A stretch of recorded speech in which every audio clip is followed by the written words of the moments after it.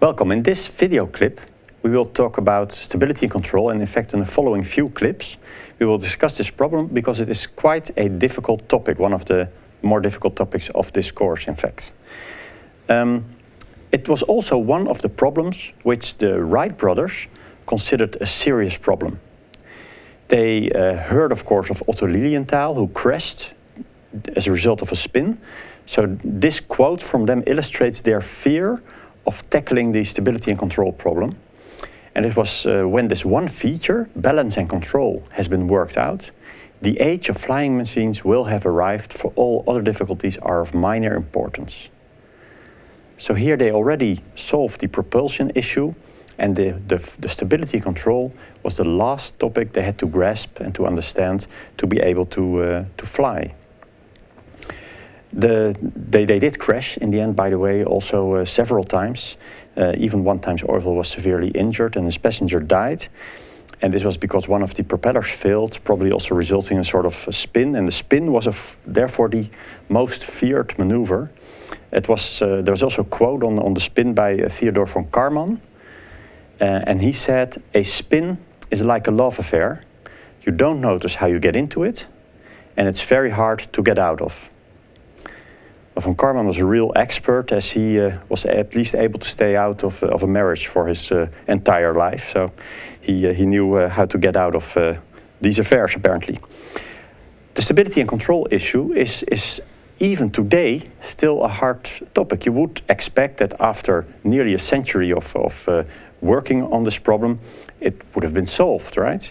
Well, let's have a look at a few video clips of relatively modern aircraft, their first prototypes, I have to say.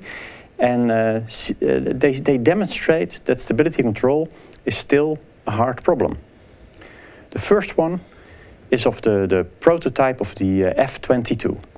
It tries to approach, and let's see what happens, tries to land. Here we see it uh, reducing speed. And you see a lot of activity already on the control surfaces. And this doesn't really show like he's fully in control. And there he crashes.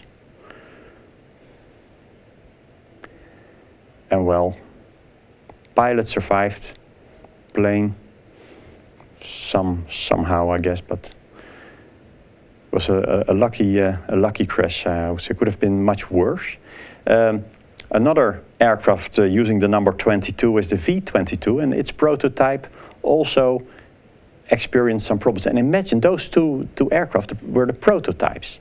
So there, uh, all the, the calculations and even simulations were already done. And then still some bugs can be in the control system or in the actual performance of the, of the model.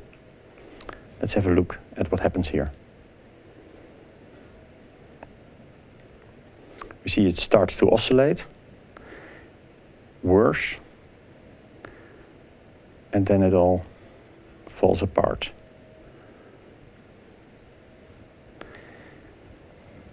So stability control is a hard topic. So if you find it a hard topic, you're not alone there, but we'll try to tackle it in a number of clips and I'll want to bring you to, to the understanding of at least the basic concept of stability.